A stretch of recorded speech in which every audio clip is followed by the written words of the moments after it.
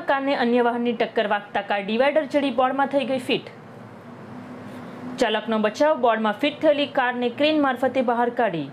પ્રાપ્ત માહિતી અનુસાર પારડીના બગવાડા ખાતે નેશનલ હાઈવે નંબર અડતાલીસના ટોલ બૂથ આગળ વાપી તરફથી આવતી એક બલેનો કાર નંબર જી જે પંદર જી છપ્પન ચુમ્માલીસને પાછળથી આવતા કોઈ વાહને ટક્કર મારતા કાર ચાલકે કાબુ ગુમાવ્યો હતો અને ટોલ બૂથ પાસે આવેલા ડિવાઈડર પર ચડી ગઈ હતી અને જે બાદ ટોલ બૂથના ટેક્સનો ભાવ દર્શાવતા બોર્ડ સાથે અથડાઈ ફિટ થઈ ગઈ હતી. આ અકસ્માત જોતા જ ટોલ બૂથ ફરજ પરના કર્મચારીઓ દોડી આવ્યા હતા. આ અકસ્માતમાં કાર ચાલક પાડી પોણિયાના પ્રિતેશ લાડનો બચાવ થયો હતો.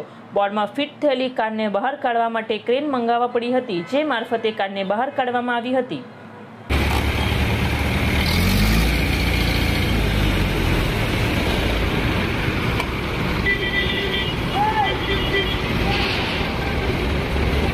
સ્ટોપ કરની પહેલી વાળી ગાડી.